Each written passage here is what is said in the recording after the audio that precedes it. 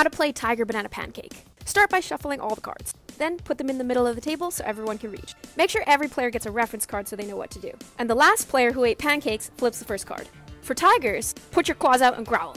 Whoever's the slowest has to keep that card. Next player flips the next card. For bananas, hands up. And same thing, whoever's slowest keeps that card. Let's say you get a pancake.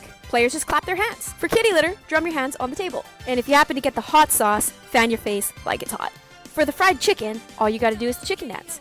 Watch out for those sneaky imposters though. If you see one, slap it as fast as you can, and the first player to do that gets to keep it. Make sure to put it beside your stack, not in it. And then to use its powers, take three cards from your stack and give it to any player that you want. You can give them all to one player or split it.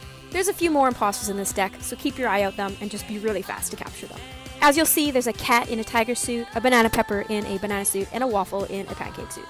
Then, there's the investigator. This card ends the game, but the first player to put their mustache up gets to cake, take that card and use it for its powers to give away five cards from their stack to any player of their choice. This is super powerful, it can completely change the game.